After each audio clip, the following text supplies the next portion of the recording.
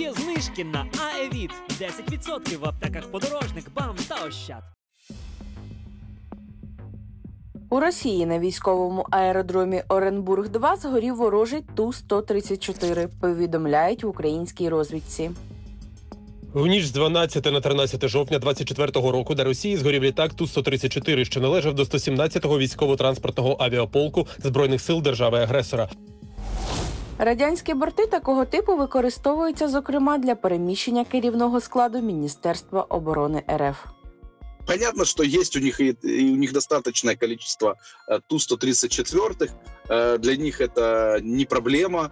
Но м, то, что э, такой доступ для м, агентов спецслужб все-таки сегодня обеспечивается, показывает, что никто сегодня из и военного, и политического руководства Российской Федерации не могут чувствовать себя в безопасности. Виходячи з таких новин, можна зробити висновок, що українська розвідка розширює свої можливості в Росії.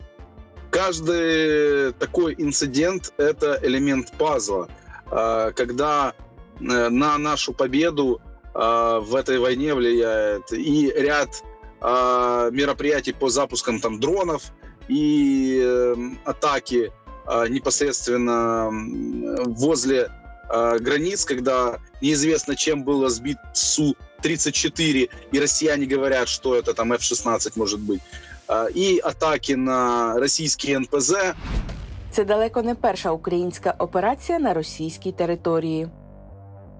Сейчас мы показываем, что э, руки украинской разведки могут дотянуться гораздо далее, нежели считалось ранее.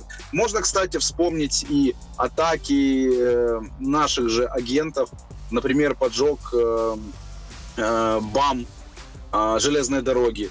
За тысячи-тысячи километров это происходило. Но опять-таки э, Украина смогла это реализировать. Ну, опять-таки, неофициально, понятное дело, но смогла же, смогла. То есть это показывает, что несмотря на м, продолжение агрессивной войны против нашей страны, а, мы можем задействовать э, ряд эффективных асимметричных действий. У ніч на 10 жовтня дрони СБУ ГУР та ССО здійснили атаку на аеродроми Ханська в Адигеї. Під час атаки на аеродромі знаходилося відразу 57 російських бойових та тренувальних літаків та гелікоптерів. Серед них Су-34, Су-35 та Мі-8. Також тієї ночі дрони СБУ ГУР ЗСУ та ССО вразили склад шахедів у районі Ейська.